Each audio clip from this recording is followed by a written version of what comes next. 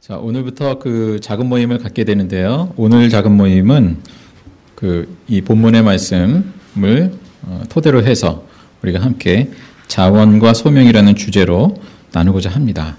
예, 말씀을 어, 또 우리가 묵상하면서 또 각자에게 어, 그 소명과 또 소명을 위해서 주신 그 자원들 어떤 것을 주셨는지를 헤아려 보는 그러한 은혜가 있기를 간절히 바랍니다.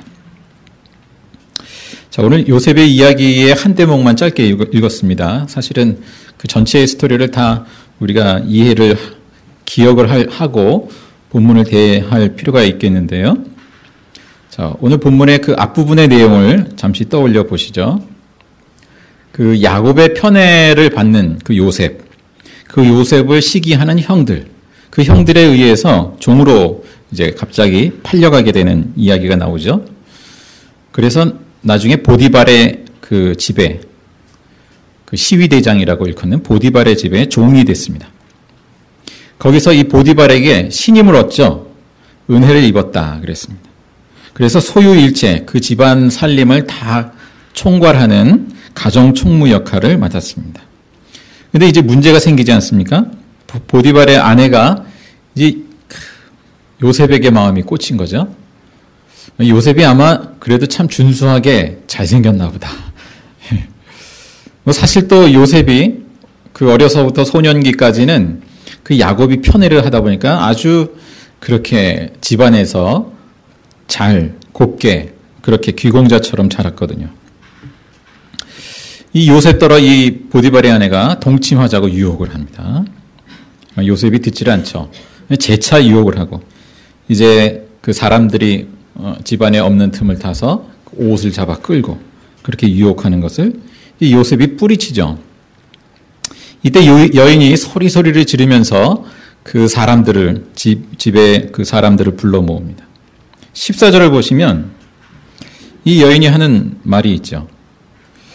주인이 히브리 사람을 우리에게 데려다가 우리를 희롱하게 하는도다. 어, 여기 우리가 두 번 반복됩니다.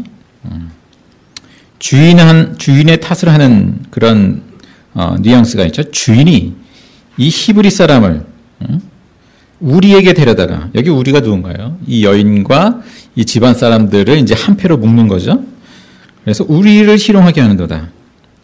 자, 이 집안 사람들의 입장에서도 사실 시기심이 있었거든요. 아마도 그 갑자기 밖에서 들어온 이 히브리 사람 종이 중책을 맡았단 말이죠. 갑자기 집안에서 고속 승진을 한 거예요. 어, 형들에게 시기심을 받은 이 요셉이 이 보디발의 집에서도 시기의 대상이 됐습니다. 자, 집주인이 들어왔습니다. 보디발이 들어왔습니다. 뭐라고 합니까? 17절에 보니까 당신이 우리에게 데려온 히브리 종이 나를 희롱하려고 했다. 그 내용입니다. 당신이. 그러니까 그 책임이 당신에게도 있다. 뭐 이런 얘기죠. 그래서 보디발은 이 아내의 말을 듣고 화가 났습니다. 심히 노했다라고 했습니다. 근데 이제 보디발이 뭐에 화가 났을까? 물론 요셉의 어떤 그 행동, 이 아내의 말을 듣고 그것에 화가 났을 수도 있겠지만 이 보디발이 아내의 말에 고지고대로 믿었을까? 그렇지만은 않았을 것 같아요. 또 이 아내가 그 당신이 데려온 하면서 그 뉘앙스에 또 평소에 그 아내의 그 태도를 보아, 보아하니 좀 미심쩍은 구석이 있다고 여겼을지 모르겠습니다. 어쨌든 그렇게 화를 내면서 이제 요셉을 옥에 가두게 되죠. 자, 이 요셉이 노예로 팔려온 것도 억울한데 지금 이 보디발의 아내 때문에 또 옥살이를 하는 그 억울함을 또 한 번 경험하게 됐습니다. 자, 그러나 어, 이 요셉이요, 이 감옥에서도 신임을 얻어요. 그래서 재반 사물을 다 맡아서 처리하게 됩니다. 이 간수장이 오늘 본문에 보니까 요셉에게 맡긴 일은 아무 간섭을 하지 않았다. 그리고 이 모든 과정에 대한 총평을 23절에 뭐라고 하고 있습니까? 여호와께서 요셉과 함께 하심이라. 여호와께서 그를 범사에 형통하게 하셔서 어, 결국 요셉이 하는 일마다 이제 잘 되게 하셨다. 이 말씀을 어, 하고 있습니다.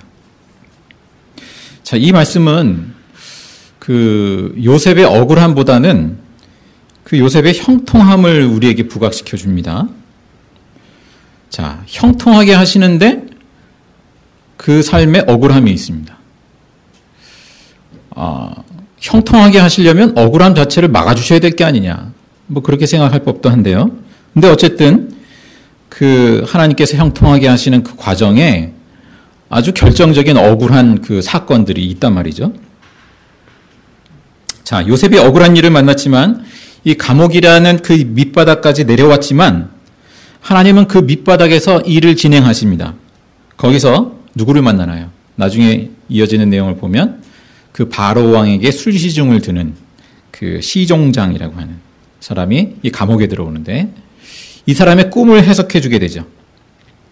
이 요셉이 꿈을 해석하는 말하자면 은사가 있었습니다. 자, 그로부터 2년이 지납니다.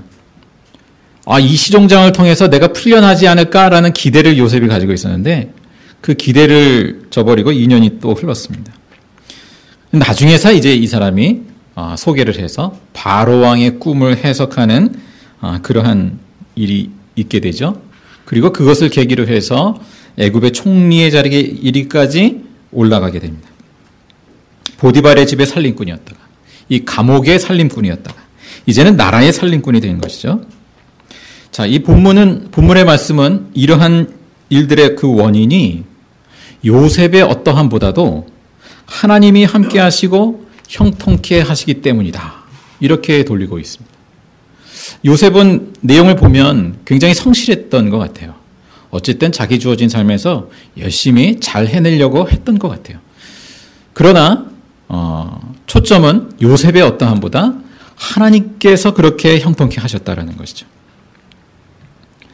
자, 하나님께서는 이 종으로 팔려온 요셉을 통해서 뭔가를 계획하고 계셨던 거죠. 미래의 구원을 예비하셨습니다. 극심한 그 가뭄, 앞으로의 그 가뭄 속에서 야곱의 가족을 이 애굽으로 이끄심, 정착하게 하시죠.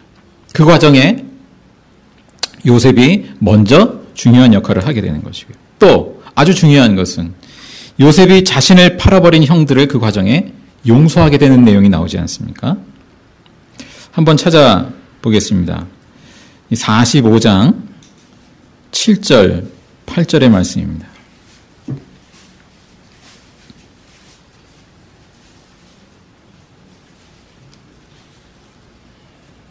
45장 7절, 8절. 그 앞에 5절에도 나옵니다만 5절에 보면 하나님이 생명을 구원하시려고 나를 당신들보다 먼저 보내셨습니다. 라는 고백이 있고요. 7절, 8절을 함께 읽겠습니다.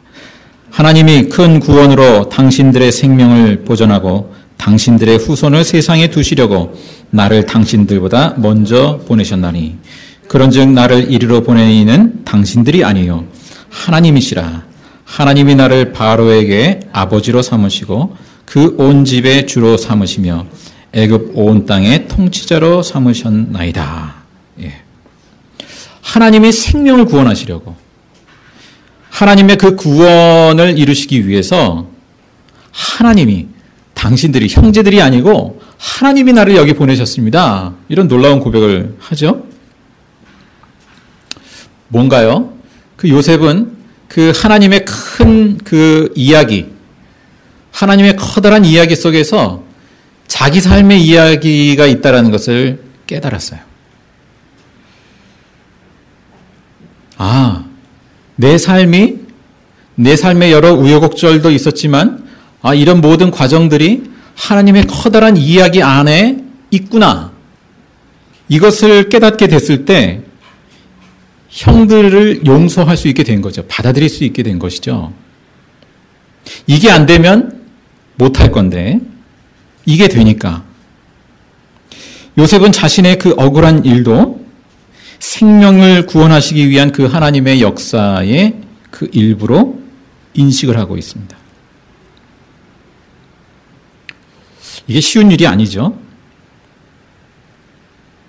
우리도 삶의 여러 가지 뭐 아픔과 때로는 억울한 일들을 경험할 수 있고 여기 뭐 다 한두 가지씩은 경험하시지 않았겠나 싶습니다. 누구한테 나는 이런저런 억울한 일을 당했다. 누구한테 난 아, 이러저런 어, 일로 돈을 떼었다 등등 여러 가지 일들이 있을 것입니다. 어, 우리가 그런 것들을 어떻게 소화해낼 수 있을까요? 소화가 안 되잖아요, 사실.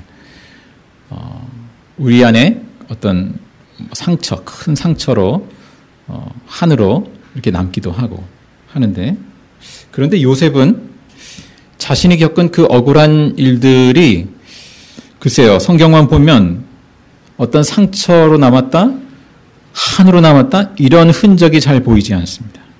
왜 그렇습니까? 그 하나님의 큰 이야기 속에 자기의 이야기가 담겨 있다라는 것 그것을 이해하기 시작했기 때문에 그러한 것이죠.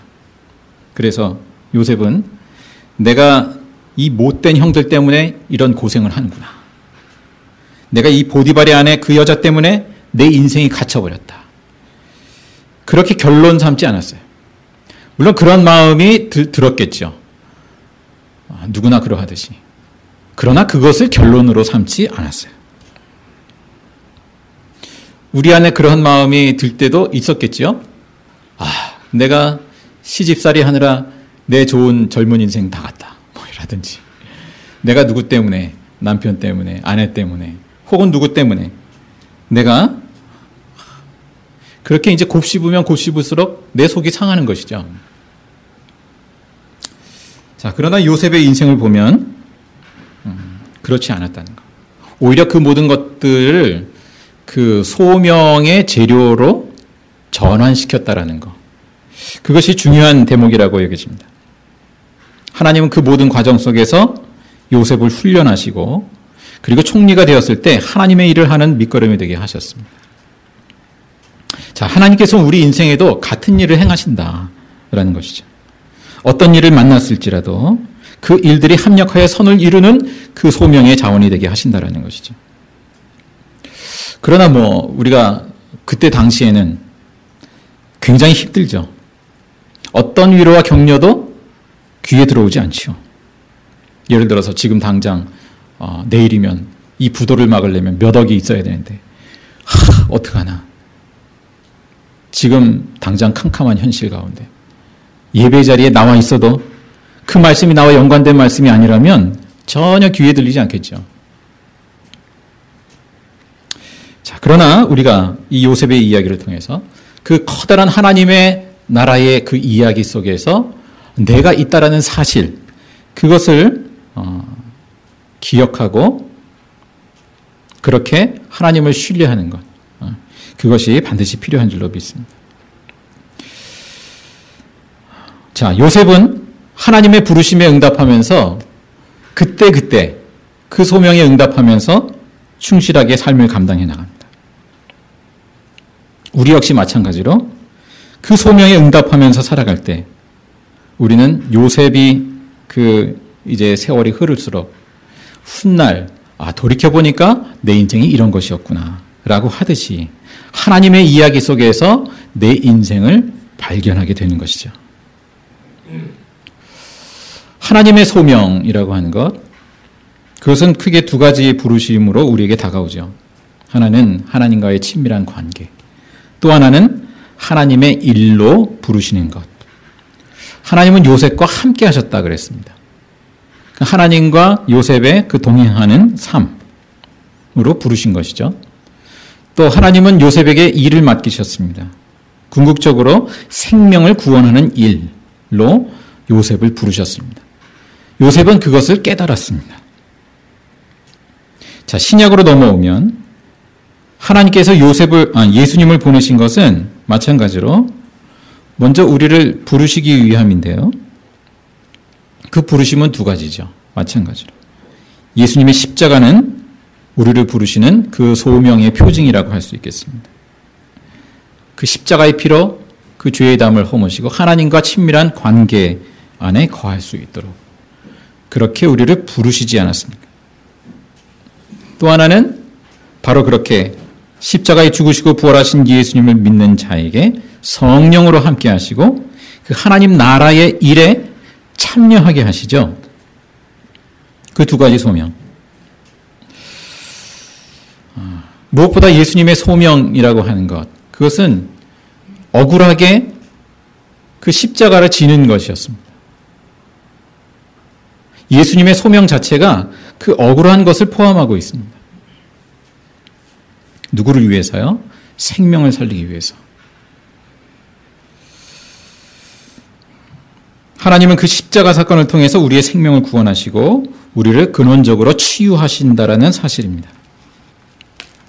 우리가 여러 가지 뭐, 그 먼저 좋은 것을 생각한다면 우리의 경력, 경험, 지식, 또 뭐 사회적인 어떤 역량 뭐 등등 그 모든 것들이 어, 십자가를 통과할 때 예수 그리스도의 그 십자가의 복음 안에 담길 때 그것은 좋은 정말 소명의 재료가 되죠.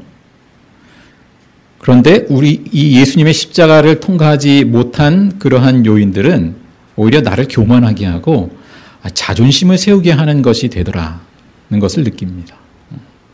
우리가 뭔가 잘한다라는 것, 강점이라고 하는 것, 재능이라고 하는 것, 지식, 이 모든 것들이 참 소중한 자원들인데 예수 그리스도의 십자가의 복음을 통과하지 않으면 그러면 그건 오히려 나를 교만하게 자존심을 세우게 하는 내가 왕년에 어땠는데 내가 지금 어떤 사람인데 이런 것으로 작용한단 말이죠. 자, 반대로 우리에게 정말 억울한 일, 없으면 좋았을 만한 그러한 일들, 여러 가지 후회가 되는 일들, 또 내가 참, 잘못한 것들, 그런 것들도 예수님의 십자가를 통과할 때 그것은 오히려 하나님의 소명을 깨닫게 되고 그 소명의 재료가, 소중한 재료가 되더라는 것입니다. 나의 강점만 아니라 나의 그 없었으면 좋았을 그러한 모든 일들도 하나님께서는 그 하나님 나라의 소명의 재료로 사용하시더라는 것이죠. 자, 우리가 어, 중요한 것은 내게 있는 그 모든 자원들을 어떤 쪽으로 선택할 거냐.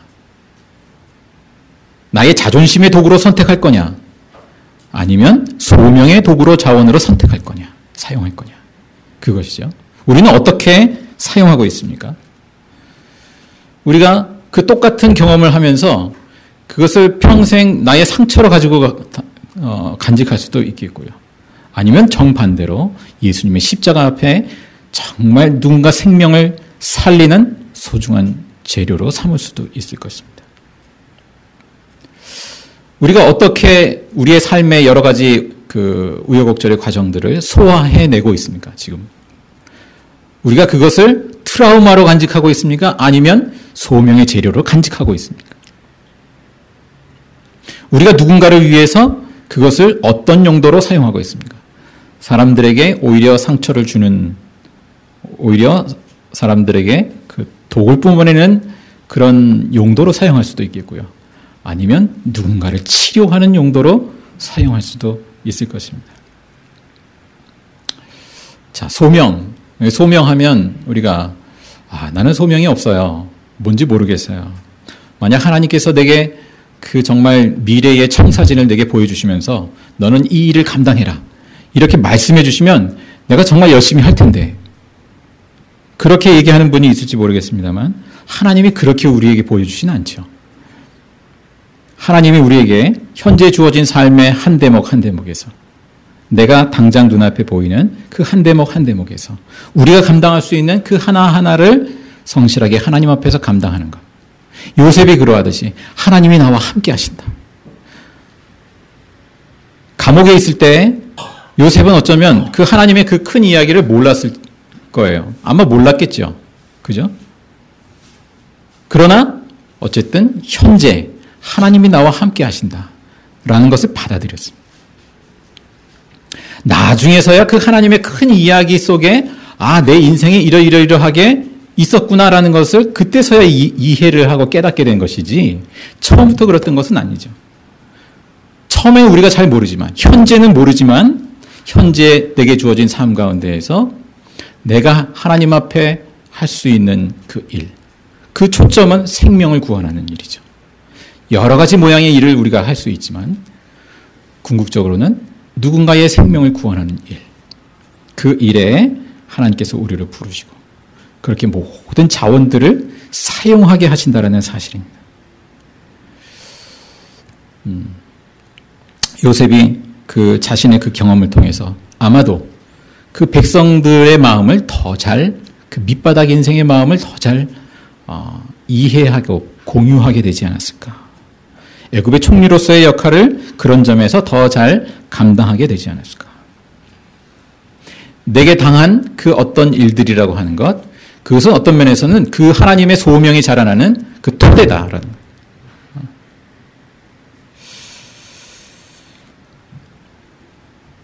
자, 하나님이 우리에게 주시는 소명, 그것은 우리의 인생보다 어, 오히려 더 길다.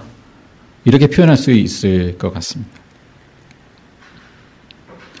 어, 우리가 은퇴한다고 해서 소명이 끝나는 것이 아니라 하나님이 부르시는 그날까지 소명을 우리가 감당하다가 그 다음 사람, 남은 사람에게 이 바톤을 넘겨주는 것이다.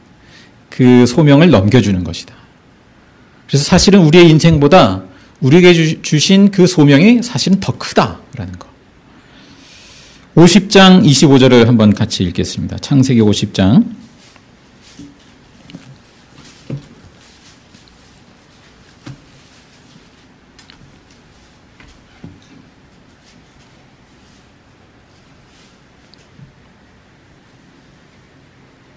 (50장) (25절) 시작 또 이스라엘 자손에게 맹세시켜 이르기를 하나님이 반드시 당신들을 돌보시리니 당신들은 여기서 내 해골을 메고 올라가겠다 하라 하였더라. 자, 훗날. 훗날이 언제인지 몰라도 하나님이 약속의 땅으로 인도하실 것을 요셉은 믿었습니다. 그리고 자신의 해골을 메고 그때 가서 이제 그 땅으로 가라. 지시를 하죠. 유언을 남깁니다. 자신의 해골을 매개로 해서 소명의 바통을 건네준 셈이죠. 자, 약속의 땅이 하나님 나라를 어, 표상한다라는 점에서 구약 성경에서요. 요셉은 이 하나님 나라의 믿음과 소망을 남겨준 셈입니다. 자, 말씀을 정리합니다. 요셉의 인생의 그 억울한 종살이, 감옥 생활, 어, 자, 원망과 한으로 남겨질 법한 아, 그러한 것인데 오히려 소명의 걸림돌이 아니라 소명의 그 소중한 자원으로 삼았다라는 것, 삼게 하셨다라는 것. 어, 요셉은 하나님의 이야기 속에 그큰 어, 하나님의 구원의 그 그야말로 대하 드라마 속에 나의 이야기가 있다라는 사실을 발견했습니다. 그렇기 때문에 어, 그 안에 원망, 상처, 한 이런 것이 자리하지 않을 수 있었던 것이죠. 형제들을 품어 안을 수 있었던 것이죠. 그 예전에 그 305 스토리라는 용어를 제가 쓴 적이 있습니다. 거기에 제가 임의로 한번 의미를 부여를 해봤습니다. 스토리 거기 끝에 Y자에다가 you 그러니까 your story in his story, history 해도 좋고요. 아, 그의 이야기 안에 당신의 이야기가 있게 하는 것. 그게 교회가 하는 일이 아닌가. 이 교회를 통해서 아, 하나님의 그 크신 이야기 속에, 구원의 이야기 속에, 아, 내 인생의 이야기가 담겨 있구나. 하나님이 그렇게 우리를 초대하셨구나. 라는 사실. 그것을 깨닫는 것, 체험하는 것. 어, 그것이 교회의 자리라 믿습니다. 자, 요셉의 이야기는 어, 멀리 그 예수님을 떠올리게 합니다. 바라봅니다. 예수 그 요셉의 그 밑바닥까지 내려갔다가 애굽의 총리까지 오르는 뭐 지상에서 이 땅에서의 어떤 그런 모형 그것은 예수님의 그 모습을 떠올려주죠. 십자가의 주기까지 내려가셨다가 다시 이제 승천하시는 그러한 예수님. 요셉이 모형, 모형이라면 예수님은 그 원형이라 이렇게 표현하겠습니다. 예수님은 철저히 하나님의 뜻을 받아들였죠. 요셉이 그러했듯이. 요한복음 6장에 보면 이 말씀이 있습니다. 예수님이 내가 하늘에서 내려온 것은 내 뜻을 행하려 함이 아니요 나를 보내신 이의 뜻을 행하려 함이니라. 내 뜻을 행하려 함이 아니요 나를 보내신 나, 나에게 소명을 주신 하나님의 뜻을 행하려 함이라. 동일하게 우리 그리스도인의 고백이라고 믿습니다. 오직 하나님의 뜻에 순종한 그 예수님의 십자가의 죄사함의 은혜야말로 아, 우리의 그 소명의 가장 큰 자원이다. 뭐 여러 가지 경험들, 우리의 경력들 이런 것들도 자원이지만 가장 큰 자원이 뭐겠습니까? 예수 그리스도의 그 십자가의 복음이죠. 이 예수님의 십자가의 복음 안에서 비로소 우리에게 그 경, 경험된 그 모든 것 좋은 것이든 나쁜 것이든 그 모든 것들이 결국은 새롭게 탄생되는 거죠. 소명의 재료로. 그 십자가의 복음 안에서. 예. 그것은 우리의 선택에 달려 있습니다. 우리가 내가 경험한 모든 것, 나의 현실, 그 모든 것들을 어떻게 받아들이고 이해할 거냐. 하나님은 우리를 부르시고 그 하나님 나라의 그 생명을 구원하는 일 가운데 우리의 인생을 사용하십니다. 사용하고자 하십니다. 우리의 모든 것을 들어서 누군가를 치유하고 살리는 자원으로 사용하십니다.